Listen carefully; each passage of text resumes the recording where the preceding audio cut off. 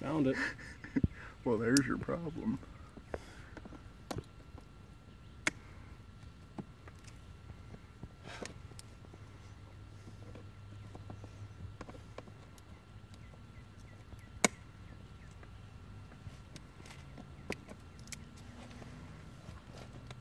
That's doo-doo water, man. That is doo-doo water.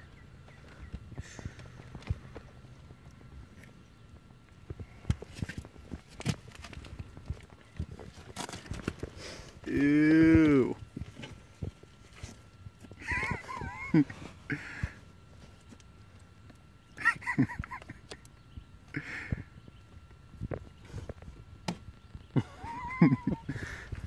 so that's what happens when you think you can take an XL600 through two feet of this.